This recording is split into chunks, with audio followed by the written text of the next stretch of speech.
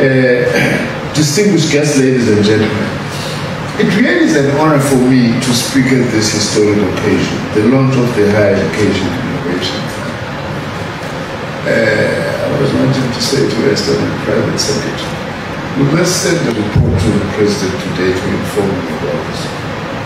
He loves this kind of thing and it's very special what we are doing. And uh, when next he wants me to explain about NSFAS, I will say, fine, I'll brief you about NSFAS, but I also want to tell you about this. While uh,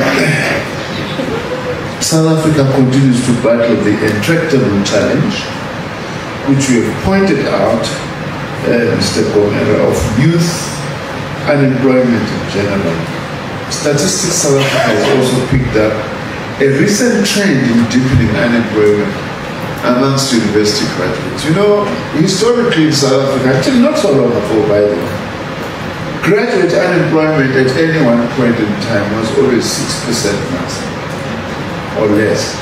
And also that 6%, none of them will stay for more than two years without finding a job.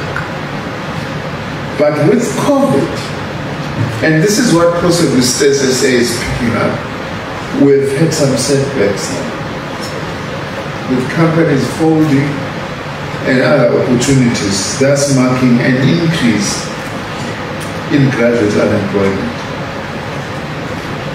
Various reviews were conducted on the state of our innovation and entrepreneurship ecosystem in our post-school education and training system by, amongst others, the National Advisory Council on Innovation, which is one of the entities of the Department of Science and Innovation, as well as the Technology Innovation Agency, whose job is actually to fund startups and translating of, of IPs into commercial activities, as well as research done by the Department of Education and Training. Combined, these reviews reveal that the challenges that characterize innovation and entrepreneurship in our post-school education sector include the following.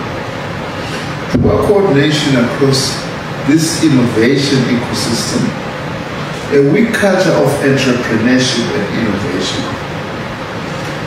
a lack of entrepreneurial support and networks at institutions of higher learning, students limited exposure to entrepreneurial opportunities, mentoring and coaching, a small number of innovation leaders in TVET colleges, inadequate skills, experience and education, low levels of capacity in our TVET colleges, limited innovation through industry partnerships, and challenges with early seed funding and incentives. This came out of this research. That's why, amongst other things, what we've done already is to work towards introducing both entrepreneurship, programs in our TVET colleges as well as innovation pro, pro, programs to support innovation in our TVET colleges.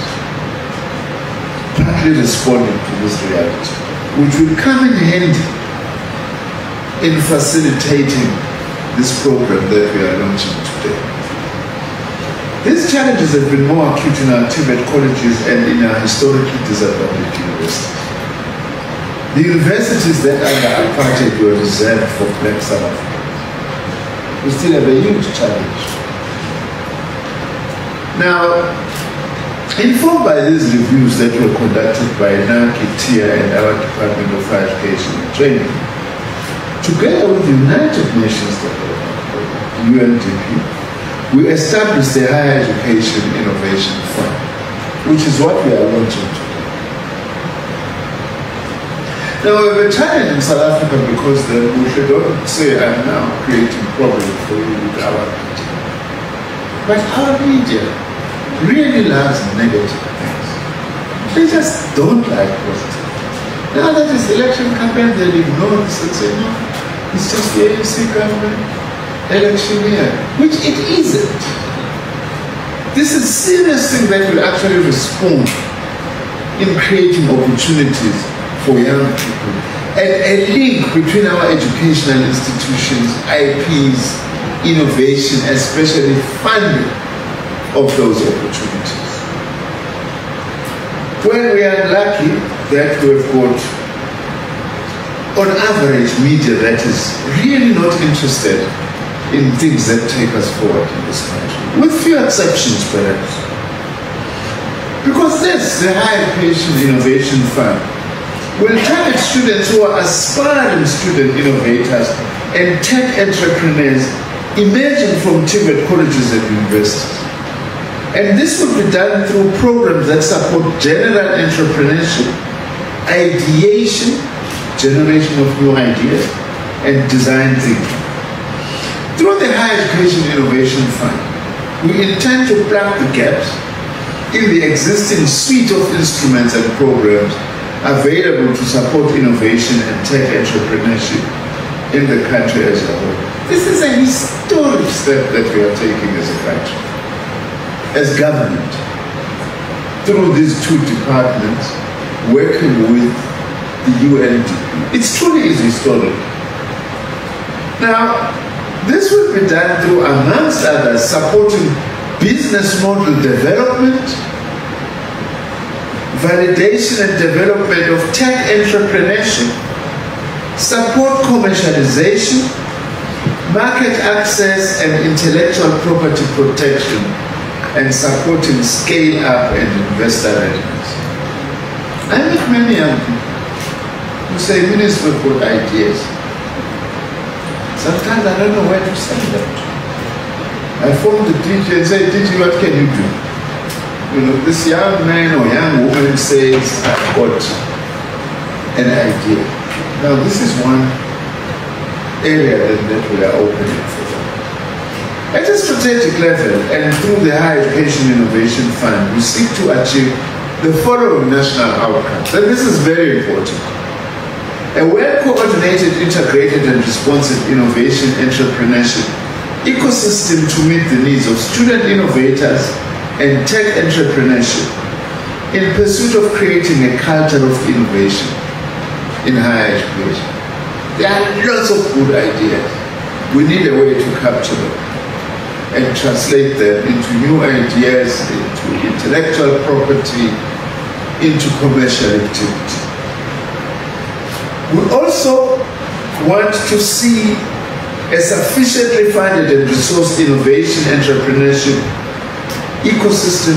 By the way, this thing of an ecosystem is very critical because you can be having funding there, support for innovation there, but these things do not talk to each other. We want these things to talk to each other and have an ecosystem. We also want to see engaged stakeholders, partners, and role players to support the ecosystem, as well as trained and skilled student tech entrepreneurs capable of developing and commercializing competitive, innovative products and able to establish and manage sustainable tech enterprises. By the way, the one key component of this ecosystem, DG, must be our science pulse that we intend to work with the Chinese to build some science parks because science parks also must be centers of innovation and they must be part of this ecosystem. The process that led to the establishment of the Higher Education Innovation Fund was set in motion, I'm pleased to say this, by the signing of a memorandum of understanding between my department, DSI, and UNDP in November 2021. The signing of this MOU was intended to pursue cooperation and partnership in several areas. By the way, these areas include co-development of collaborative projects, including the development of evidence-based strategies for inclusive development and innovation for local economic development. I would really like to see university campuses and our TVET college campuses to be anchor institutions where they are located. And part of being real anchor institutions, there must be places for excellence in entrepreneurship and innovation, responding both to local needs as well as to national needs. Also, this MOU caters for collaboration or aims to, to create conditions for collaboration on core programmatic areas, incorporating cross-cutting issues of gender and youth participation in our economy. Focusing on effective, efficient, and transformative governance, climate resilience, and sustainably managed natural resources. This is critical as well. It isn't entrepreneurship, science, or innovation, unless also it deals with the issue of climate change mitigation. We also need lots of innovation on how we deal with climate change mitigation, amongst other things. Also, collaboration on, on policy development with the Presidential Employment Stimulus Program and assisting in the development of a monitoring and evaluation framework. Drawing on organizational networks and resources to further strengthen the partnership and collaborative activities support for the Department of Science and Innovation diplomacy framework within African countries through technical expertise, as well as drawing on the networks and stakeholder relations of UNDP country offices. That's why you are a very important partner for us. Support for research development and innovation in the fields of ICT, CEO, digitization, and the new technologies uh, that we have in order to improve accessibility for all. The policy context for the creation of the Higher Education Innovation Fund is provided from our 2019 white paper on science, technology and innovation, which also acknowledges the challenge of high youth unemployment in our country. Further to this, from our white paper, we've got our decadal plan, 10-year plan on science, technology and innovation which commits my department to transformation and inclusion of the marginalized in terms of demographic, institutional, and geographic transformation on the national system of innovation. And it can't be entrepreneurship and innovation unless, of course, it places also women at the center and gender transformation. The two things are related, but they are not the same because you can place women. But if we don't also drive gender transformation, those women are not going to be able to do what we expect them to do. This is why innovation for inclusion is a theme that runs across all chapters of our decadal plan. As it relates to the institutional arrangements and management of the Higher Education Innovation Fund, my department and the UNDP are the lead partners. Our entity the trust, the, the TIA, the Technology Innovation Agency, recently joined the partnership as a co-funder and potential implementer of some programs. And I'm glad DG that TIA is part of this. Because it is these kinds of opportunities that TIA should at all times be looking for. We are working on extending the partnership to other organizations who will be co-funders. The DSI UNDP team is currently hard at work to refine an appropriate strategy, processes, protocols, and criteria around the Higher Education Innovation Fund. Equally important, in a couple of months, two calls for proposals will be publicized for interested parties with suitable programs and expertise to apply. So we are not only launching, we have a plan, and we will be having call for proposals two months from now. That's the determination we have to ensure that this works. Our vision is to grow the Higher Education Innovation Fund to 1 billion rand and through this launch we are also inviting private sector companies and other funding institutions, some of whom are represented here today and thanks for being here, to come on board and help us achieve this objective. In conclusion, we are very excited by the establishment of the Higher Education Innovation Fund and value our partnership, as I have said, with the UNDP. The Higher Education Innovation Fund is a first for our post-school education and training system and for our country.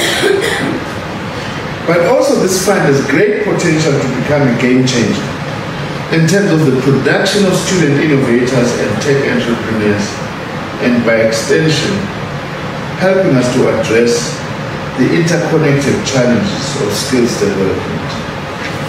and youth unemployment. I thank you very much.